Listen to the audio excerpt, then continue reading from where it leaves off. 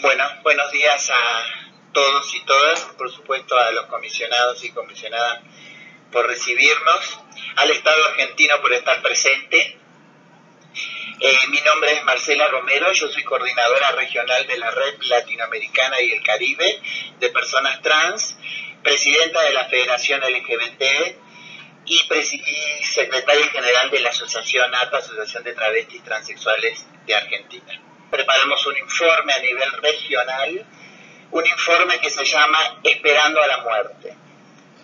Nos hubiese gustado a la comunidad trans tener un informe que diga esperando políticas públicas, esperando eh, más inclusión social, más inclusión eh, para las personas trans, pero vemos que eso no sucede en Latinoamérica. Bueno, en Argentina tenemos una ley de identidad de género en la cual reconoce la identidad de las personas trans sin pasar con un diagnóstico psicológico ni psiquiátrico. Una persona trans eh, en menos de un mes puede acceder a su documentación, puede tener su identidad y puede desarrollarse como cualquier otra ciudadana y ciudadana. Eh, nosotras vemos que en Argentina está recrudeciendo la violencia institucional hacia las personas trans en Argentina. Nosotros tenemos un registro en este informe del CEDOSTAL, que es el Centro de Documentación para Personas Trans de Latinoamérica. Tenemos un informe de Argentina del 58% de violaciones a los derechos humanos, lesiones físicas y psicológicas en los cuerpos de las personas trans el 18% fueron crímenes de odios en el 2016 y 17.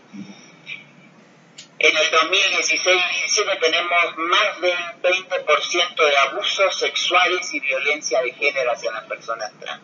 En Argentina todos los días más de 5.000 mujeres trans son detenidas, son abusadas y son parte de la caja chica de la policía de la Argentina. Realmente el final de toda esta persecución de violencia institucional que tenemos termina siendo en crímenes de odios y muertes en las personas trans.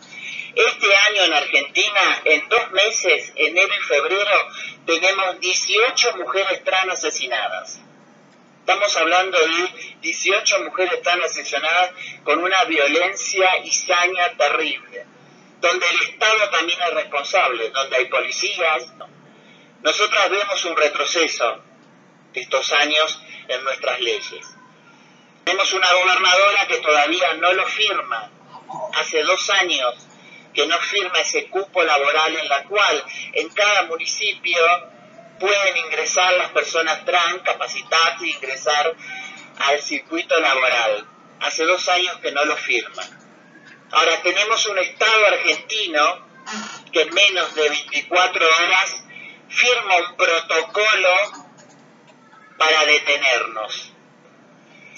No queremos seguir siendo excluidas de las políticas públicas que tengan eh, el gobierno argentino Queremos realmente políticas públicas efectivas, pero realmente políticas públicas que estemos incluidas.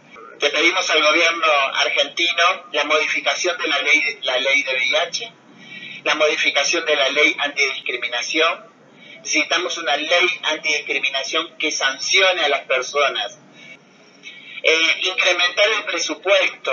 Le decimos al gobierno argentino es necesario que tengan un presupuesto para la diversidad sexual y necesitamos estar incluidas en la sociedad porque nosotras también formamos parte de la democracia argentina.